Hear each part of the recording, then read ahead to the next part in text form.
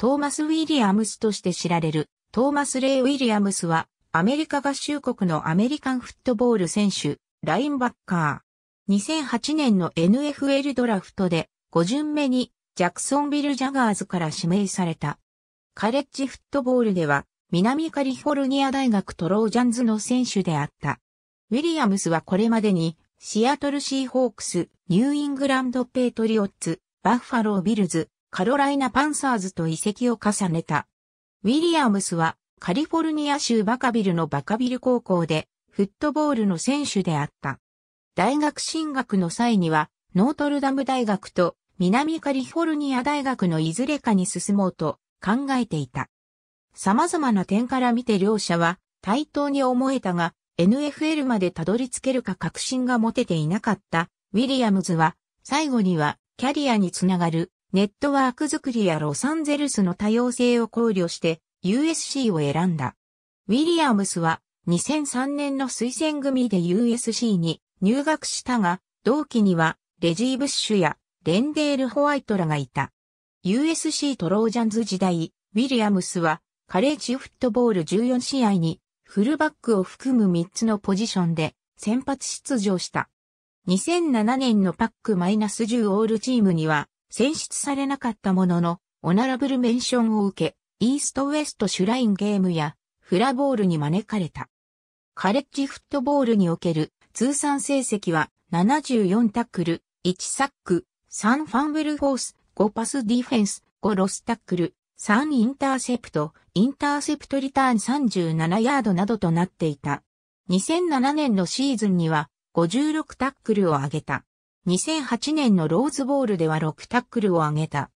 トロージャンズ時代のウィリアムズは、ロファ・タトゥープ、マット・グルーテグード、ダラス・サーツ、コリン・アシュトン、オスカー・ルアラ、ラインバッカーの先輩たちから指導や助言を受けた。自分よりも経験に秀でたラインバッカーたちと競う中でなんとか出場時間を増やしていくために、ウィリアムスはスペシャルチームでのプレー、特にキックオフカバレッジに集中して取り組み、優れた成果を上げた。レッドシャツ新人として出場した2004年のシーズンには全米選手権に進んだチームの一員として活躍し、サーツの交代要員としてストロングサイドでプレーした。2004年シーズンの早い時期に、コーチのピート・キャロルが、ウィリアムスのスペシャルチームにおける活躍を踏まえて、ザ・ヒットマンというあだ名をつけたが、この名はウィリアムスが USC にいた間ずっとついて回ることになった2005年のチームにおいても、サーツの交代要員だったが、サーツがシーズン途中で肩を故障したため、6試合には先発出場した。途中出場も2回あり、ウィークサイドの役割も経験した。2006年のチームにおいては、フルバックが軒並み故障してしまったため、オフェンスチームのライアン・カリル、サム・ベーカー、ジョン・デビッド・ブーティラは、高校時代にフルバックの経験があったウィリアムスに、フルバックへの転向を説得した。ウィリアムスはフルバックとして2回先発出場し、シーズン中の数試合でオフェンスとディフェンスの両方のチームでプレーした。ウィリアムスはカレッジの間にラインバッカーの3つのポジションをすべて経験した。2007年のシーズンにおいては、チームメイトの投票によって最もインスピレーションに満ちたプレーをした選手に選ばれ、レギュラーシーズン終了時点で、ロスタックル3.5回で、ラインバッカー中3くらい、インターセプト1回、全米2位のファンブルホース2回を記録した。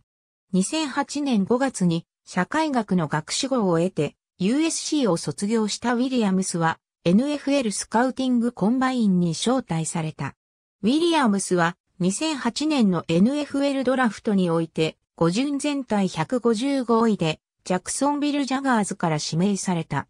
母校の高校からドラフトされたのは、1983年にロサンゼルスラムズから全体97位で指名されたビンス・ニューサム以来のことであった。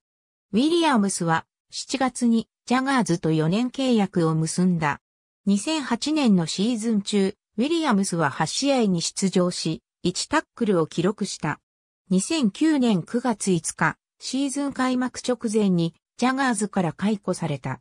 9月8日、シアトルシーホークスとプラクティススクワットとして契約したが、9月30日には契約解除となった。同年11月10日、ニューイングランドペイトリオッツとプラクティススクワットとして契約した。ボルチモア・レイブンズとのプレーオフ直前の翌年1月6日にロースター入りを果たしたが、試合への出場機会は与えられなかった。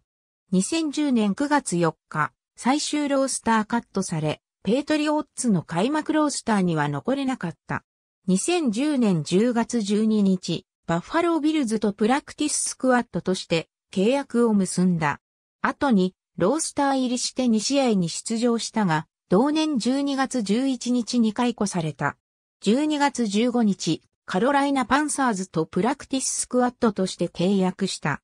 2011年シーズン終了後、契約延長を果たせず、2012年3月13日にフリーエージェントとなった。2012年7月26日、タンパベイバッカニアーズと2年契約を結んだが、直後の7月29日には解雇された。ありがとうございます。